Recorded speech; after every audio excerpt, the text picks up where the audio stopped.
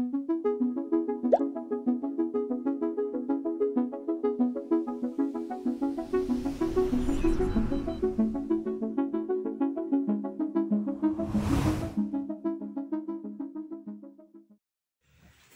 amigas y amigos del canal para estudiar con Ricardo, vamos a ver una función logarítmica, su gráfica, su análisis, su inversa y también la gráfica y el análisis.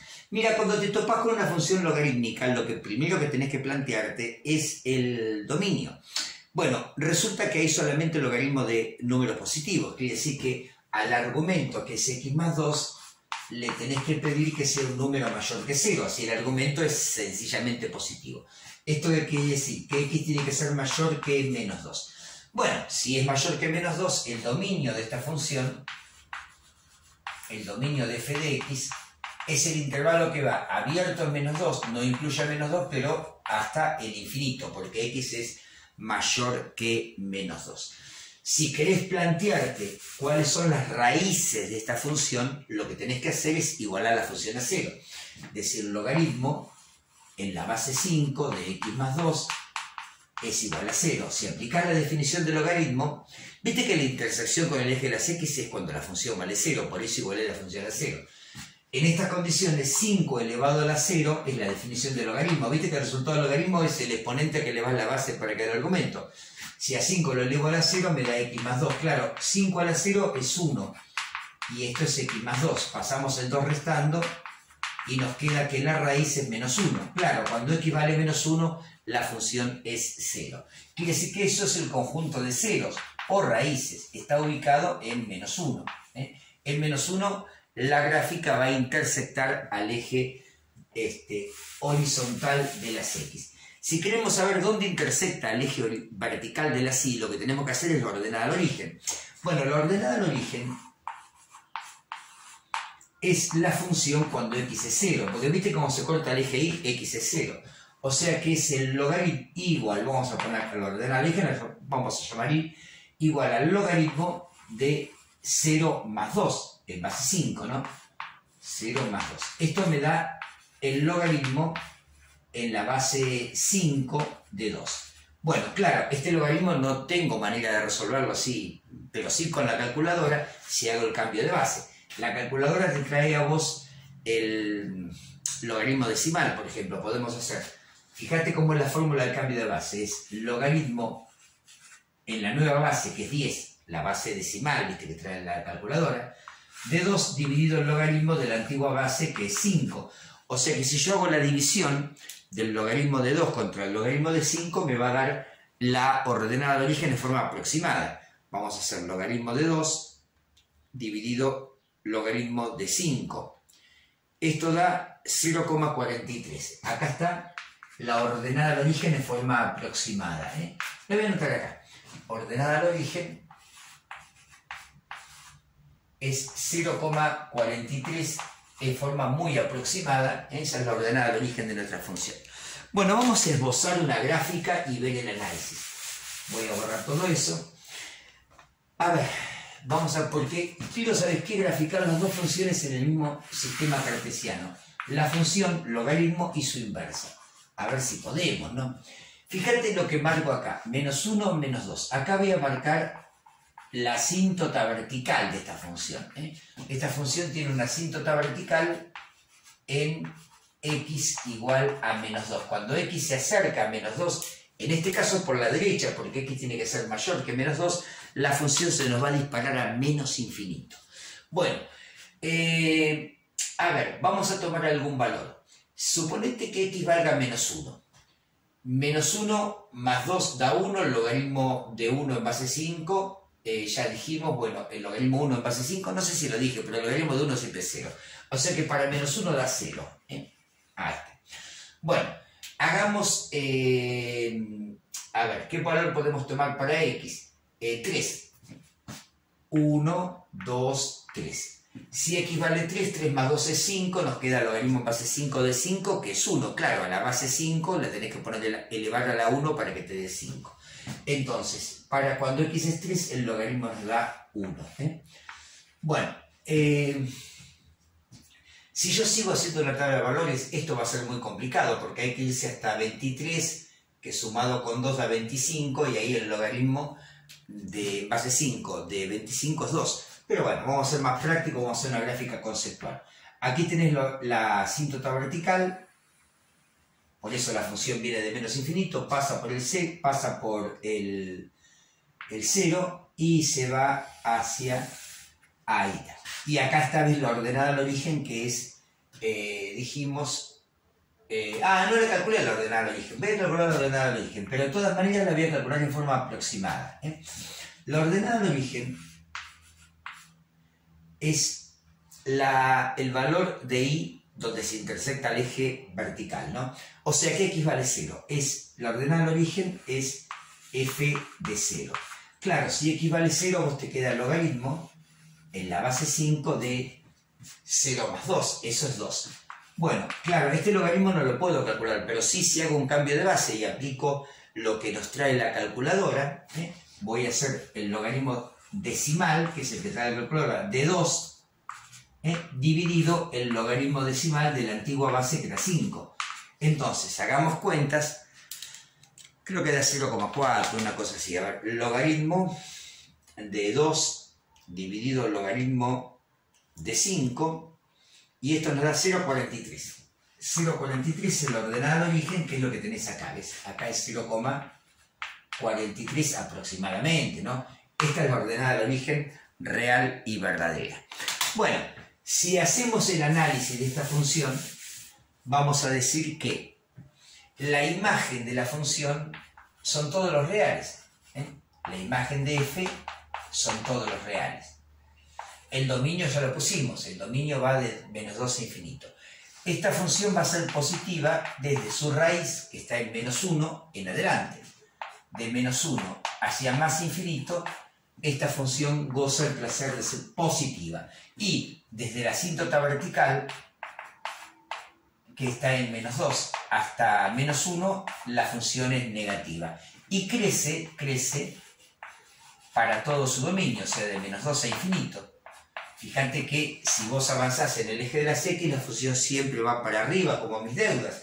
Y el, el conjunto de decrecimiento, el intervalo de decrecimiento, es el conjunto vacío porque esta función no decrece. Bueno, eh, creo que está hecho el análisis completo de la función. No sé si faltará algo, pero vos me dirás en los comentarios o, o, incluso lo podrás sacar vos. Vamos a sacar la función inversa. Bueno, para la función inversa, a f de x lo vamos a llamar x.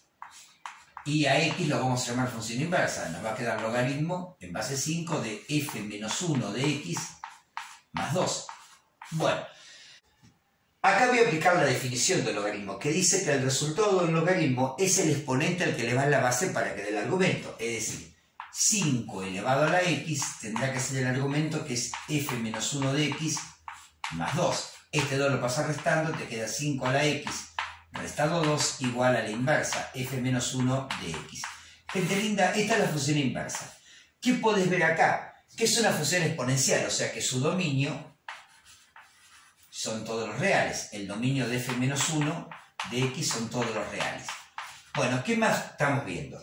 5 elevado a la x tiene dos cuestiones. No puede valer 0, 5 elevado a ningún número te da 0, y además 5 a la 0 siempre es positivo. ¿eh? Entonces, acá estamos viendo la imagen. Vos fíjate que cuando x es tremendamente pequeño, menos 1000, menos 10.000, menos un millón, menos mil millones, acá te va a quedar, sobre menos mil millones.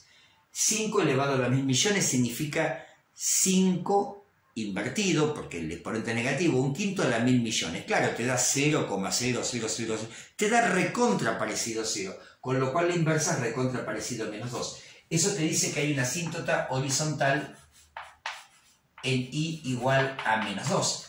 Y acá empieza a verse lo de la función inversa. Viste que acá tenemos asíntota vertical en x igual a menos 2 en la, su inversa tenemos asíntota horizontal, en igual a menos 2. Bueno, dicho esto, 5 eh, a la x siempre va a ser positivo, o sea que a medida que x tome valores, 5 a la x va a ir tomando valores y eh, la inversa de x va a ir de menos 2 en adelante. Entonces la imagen de la función inversa de f menos 1 de x, ¿cómo va a ser? Bueno, va a ser eh, fíjate, de menos 2 sin incluir, la función nunca va por, pero hacia adelante, hasta infinito. Fíjate cómo empiezan a aparecer las cuestiones de inversa, ¿no? El dominio de la función es la imagen de la inversa. El dominio de la inversa es la imagen de la función. ¿eh? Bueno, eh, a ver, tratamos de, delinear la gráfica. Fíjate, yo no voy a buscar las raíces de forma exacta. Acá hicimos la ordenada de origen de forma aproximada. Voy a buscar las raíces. A ver, 5 a la x restado 2 igual a 0. Esta es la ecuación que te resuelve las raíces, claro, porque eh, cuando la función es 0, el valor de x es la intersección con el eje horizontal de las x, son las raíces. Vamos a resolver esta ecuación, nos queda 5 a la x igual a 2. Aplicas logaritmo, nos queda el logaritmo de 5 a la x igual al logaritmo de 2. Hay una propiedad que te dice que el exponente se lo multiplicando. x por logaritmo de 5 igual al logaritmo de 2. Y el logaritmo de 5 pasa dividiendo, x es logaritmo decimal de 2 dividido logaritmo decimal de 5, que ya hicimos aproximadamente y quedaba 0,43, ¿no? Claro, la ordenada al origen de la función es la raíz de la inversa.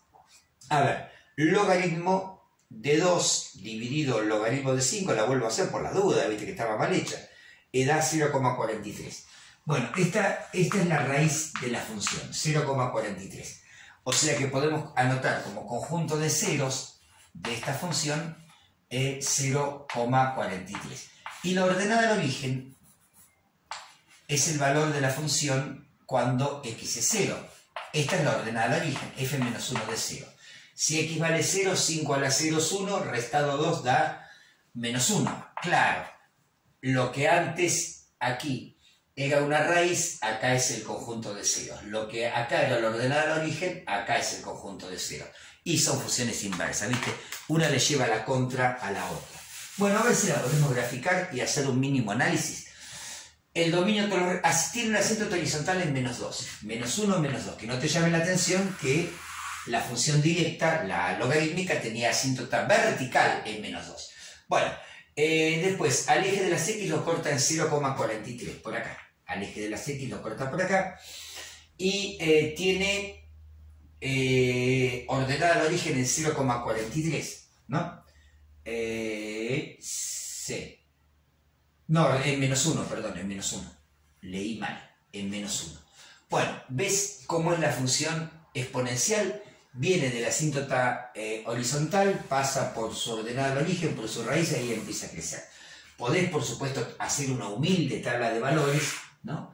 Para obtener la gráfica de f menos 1 de x, de la inversa. Pero bueno, a ver, si yo tengo, por ejemplo, si x vale menos 1, vos tenés 5 a la menos 1, que es un quinto. Un quinto restado 2 y te va a dar el valor de la función. A ver, un quinto, ya te digo.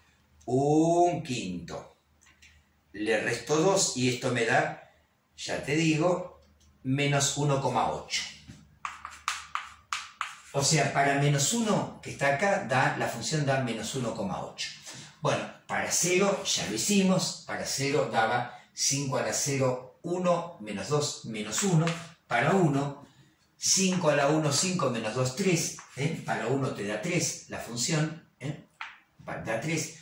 Bueno, si x vale 2 ya nos vamos a lejos, ¿no? Porque 5 a la 2 da 25, 25 menos 2, 23. Y ahí está la tablita de valores humilde. Yo igual siempre prefiero hacer este, gráficos conceptuales. Vamos a ver el conjunto de positividad de la función f-1 de x. Fíjate, es positiva desde su raíz en adelante. Claro, ahí te queda arriba el eje de las x. La raíz donde estaba, en 0,43 aproximadamente. De 0,43 a infinito, la función es positiva. Mientras que es negativa, el conjunto de negatividad es de menos infinito, desde el eje menos infinito, hasta 0,43. Y claro, vos fíjate una cosa, la función logarítmica tuvo un intervalo de crecimiento durante todo su dominio, que fue desde menos 2 a infinito, de crecimiento cero. Pero para la exponencial, eh, fíjate que la función también siempre es creciente, pero crece para todos los reales. Claro, eso tiene que ver con que el dominio de una es la imagen de la otra y la imagen de una es el dominio de la otra. Claro, son funciones estrictamente inversas. Gente linda, espero haber sido claro. Dentro del canal listado de reproducción funciones vas a encontrar todo lo que quieras saber de inversas. Listado de reproducción función exponencial, todo lo que quieras saber de función exponencial. Listado de reproducción logaritmo, todo lo que quieras saber de función logarítmica. Por supuesto que nos vemos próximo video. Chao, chao.